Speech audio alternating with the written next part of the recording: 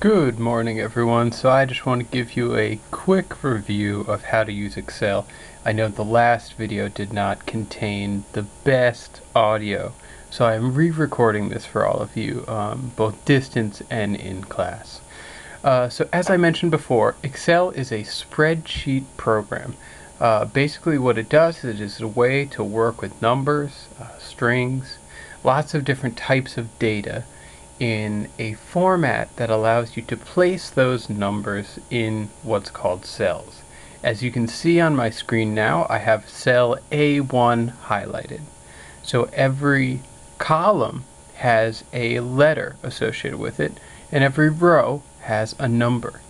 Uh, columns uh, are basically the uh, like a column in a building, right? It's a, a long um, the up and down area, and then the across area is a row. So it's just like a table you might uh, deal with in any other discipline. Um, however, uh, today we're working with numbers, right?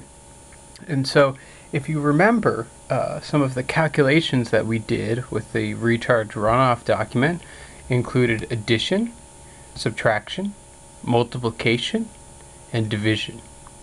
Today I will review those again uh, in case you didn't have any experience with that previously. To start, we will double click on A1. Double clicking is uh, left clicking and you just do it twice as if you were opening an icon on the uh, on the computer, right? So you double click, it selects A1, you can tell that it is selected because the cursor blinks there, awaiting input. Now we put in add, right? Or well, now we put in data 1. Okay, then I can do the same thing. I can double click on B1 and put data 2. Right, and so to enter the data after inputting it, I press enter. Uh, it's just similar to a text box you might input uh, things into as well. So, in data 1, I'm going to put 1, 2, 3, 4, and 5 just by pressing the number and then pressing enter. So then I do, on this side, I will do 2. So I press 2, it inputs it, then I press enter. 3, enter, 4, enter, 5, enter, and 6, enter. Great. Um, and if I wanted to um, put, say, replace these two, I could just hover over it. So select it with the arrow key or with my mouse, right, by selecting it there. And then I could just press 1 and 2, and that would actually rewrite it. So if I go over it, I can do that very easily. Great. So that's how to input data.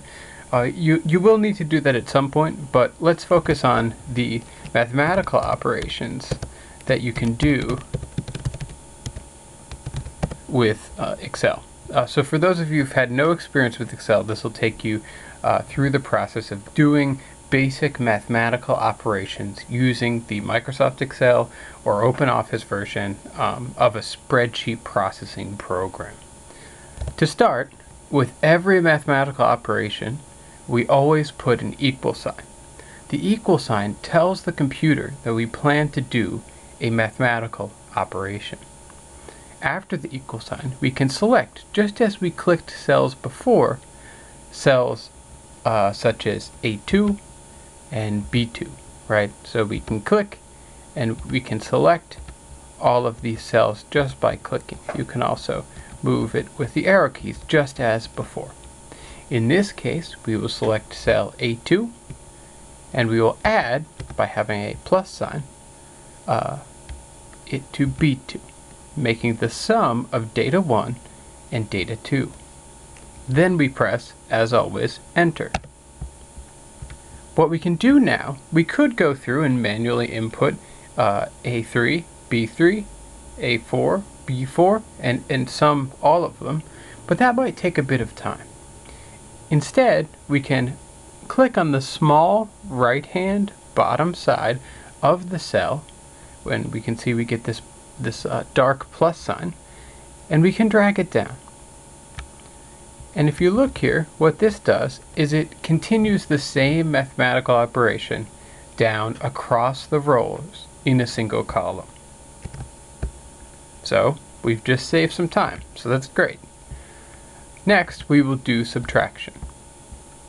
We can do the same thing as before, a2 minus b2, and then press enter, we get negative 1. This makes sense. This makes sense, and we just drag down. And this is giving us the same thing. We can also multiply. The operator for that is the asterisk. And we do the same thing. Once we've put the two in, press enter, we can drag it down. Or double click. What I just did there is double click and it fills it. Um, and then finally we can divide. And that's 1. A, A2 divided by uh, B3 and divided by is the uh, slash. And then we can drag that down. So this is how you add, subtract, multiply, and divide um, using Excel. These are the basic operations that you will do. One thing to note is in many cases we will give you an Excel spreadsheet to look at and to work with. One of the most important skills that you'll need to have in Excel is being able to look at the spreadsheet program and hover over one of the cells to see what the formula is to understand the units associated with that formula.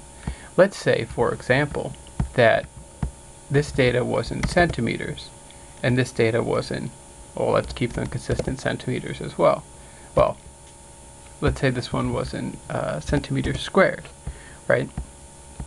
Then the division itself is centimeters divided by centimeters squared, right?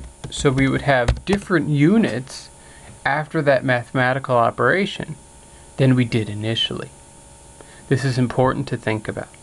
Um, and something I mentioned before, unit conversion. Uh, so keeping co units consistent through time uh, is something to think about. And I can post some uh, links on doing that if you are interested. Uh, but it's just something, if you hover over the item and you write out the units like that um, in the data columns in Excel, uh, I think that'll be very useful for you. Uh, keeping track of units is always important to do, whether whatever fields you're in, especially though in water resources.